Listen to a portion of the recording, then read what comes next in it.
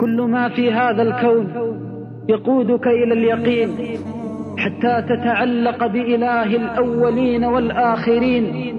وصدق الله عز وجل إذ يقول في كتابه المبين وفي الأرض آيات للموقنين. هذا اليقين هو خلق أنبياء الله وعباد الله الصالحين. رفع الله به درجاتهم وكفر به خطيئاتهم وأوجب لهم الحب منه والرضوان والصح من لدنه والغفران. إنه اليقين بالله الذي وقف معه نبي الله آدم أبو البشرية جمعاء وقف عليه الصلاة والسلام في موقف أليم إذ أحس بالذنب في حق ربه الكريم. وقف صلوات الله وسلامه عليه وقد بدت عليه عورته فطفق هو وزوجه يخصفان من ورق الجنة وعصى آدم ربه فغوى فجاءه اليقين بالله فنادى ربه وناجاه فغفر الله ذنبه وستر عيبه وكفر خطيئته. هذا اليقين الذي دخل به يونس بن متى إلى ظلمات الحوت. في ظلمات ثلاث لا يعلمه إلا الله ولا يطلع على خبيئة قلبه من الآلام والحسرات سوى الله. فناداه وناجاه وتقرب إليه جل في علاه. فنادى في الظلمات أن لا إله إلا أنت. سبحانك. إني كنت من الظالمين. فناداه بهذا النداء وكله يقين بأن الله سيرحمه. وناجاه بهذه النجوى وكله يقين بأن الله سيلطف به.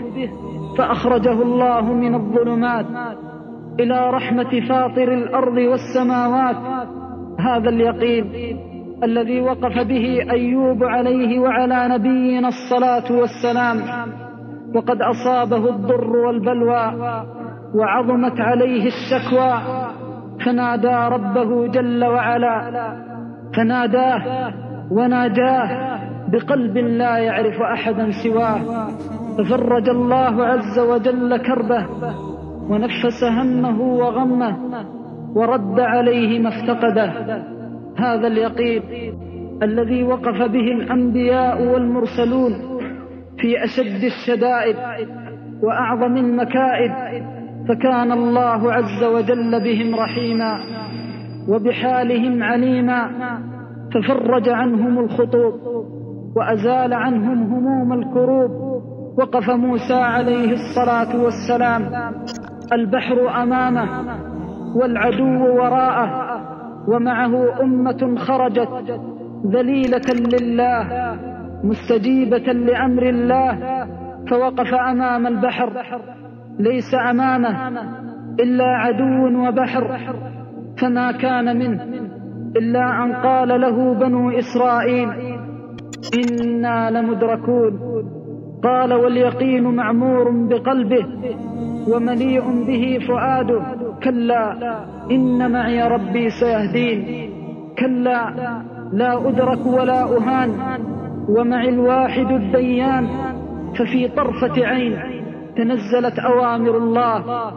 أن اضرب بعصاك البحر وإذا بتلك الأمواج المتلاطمة والبحور العظيمة تنقلب في طرفة عين إلى أرض يابسة وإذا به على أرض لا يخاف دركا ولا يخشى. قال الله عز وجل قال أصحاب موسى إنا لمدركون.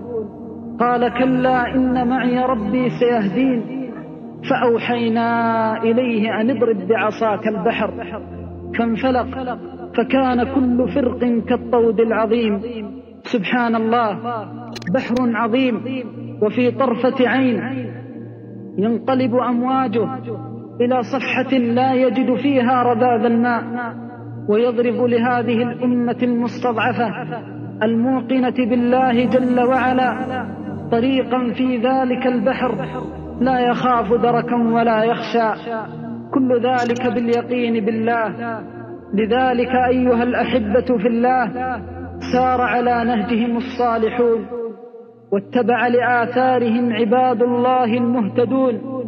فما نزلت بهم خطوب ولا أحاطت بهم كروب إلا عاذوا بالله علام الغيوب والمؤمن في كل زمان ومكان يحتاج إلى هذا اليقين بالله.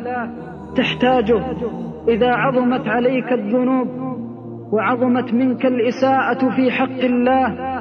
تحتاجه وأنت مع أهلك وتحتاجه وأنت مع ولدك وتحتاجه وأنت مع عدوك وتحتاجه وأنت مع صديقك.